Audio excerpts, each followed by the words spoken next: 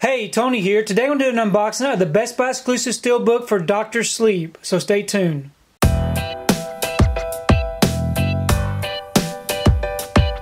So today I picked up my pre-order for Dr. Sleep. This is a Best Buy exclusive steelbook featuring the 4K Ultra HD, the Blu-ray, and the digital code.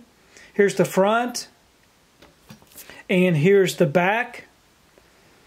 If you would like to go ahead and check out these special features, you can go ahead and pause and do so. I'm going to go ahead and open this steelbook up and we can take a closer look at this artwork. Okay, I've got the J card off and the wrapper off. I really do like the image here on the front of this steelbook. There is no embossing or debossing, um, but that looks really, really nice. Here's the spine. And here is the back. And then you open it up and we have our two disc. So we have our 4K disc here in the front and our Blu-ray disc in the back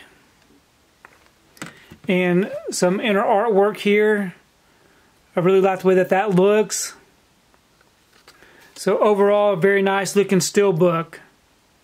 So I did want to take the time to show you um, the other artwork on just the regular 4K release. I believe this is the same artwork that's featured on the Blu-ray. Um, but I really do like the image here with the red and the black. But I think that um, Best Buy did a really good job with just doing a white steelbook with the um, image of the young Danny Torrance going down the hallway. So overall, I'm very happy with this particular um, steelbook release. Now, I haven't had a chance to see Dr. Sleep. I really wanted to see it in the theater. I just never got around to seeing it. So I am definitely looking forward to checking this movie out. Please leave me a comment below. Let me know what you thought about the movie. Let me know if you were able to pick up the Steelbook or if you're just going to pick up the regular release. Now, I do know that the Best Buy I went to did not have any of these on the shelf. So I'm very happy that I was able to pre-order this and get this in my hand. If you like what you saw here, please give it a thumbs up and share the video. If you haven't subscribed to my channel, I really appreciate it if you would subscribe.